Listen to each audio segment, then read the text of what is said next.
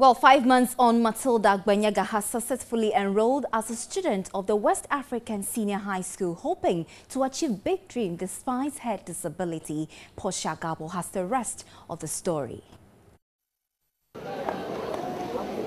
Walking through the compound of the West Africa Senior High School with a sense of pride, Matilda Agbanyaga's dream of becoming great in future has just started.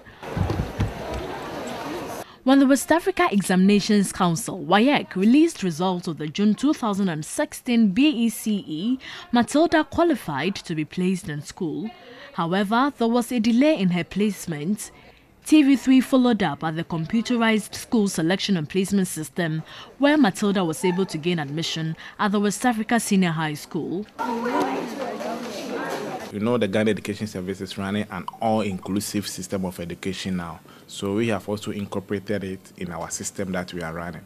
So we make sure that all candidates, provided you make the mark to go to a, a particular school, you go there.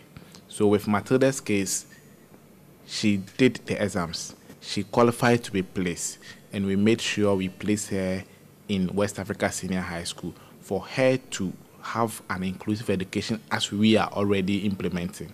Ghana in 2016 began the implementation of an inclusive education policy.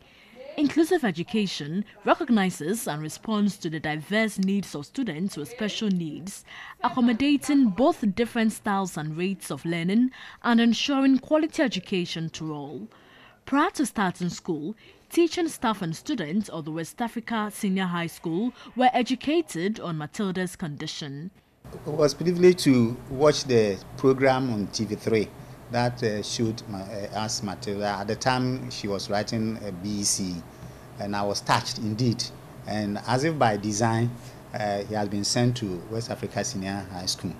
With support from her peers, teachers, and parents, Matilda feels comfortable and is able to participate in class. Maid servants. The maid belongs to which class of words? Enough. Clap for Matilda.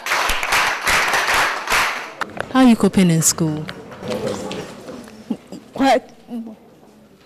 Quite. Your colleagues here, how are they treating you?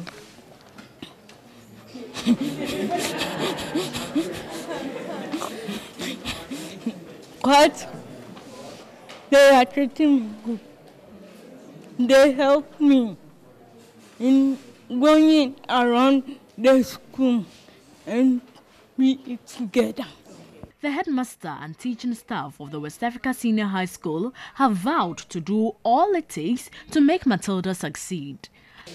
Sometimes when she's suffering, I, I help her. She's very humble and I like her so much.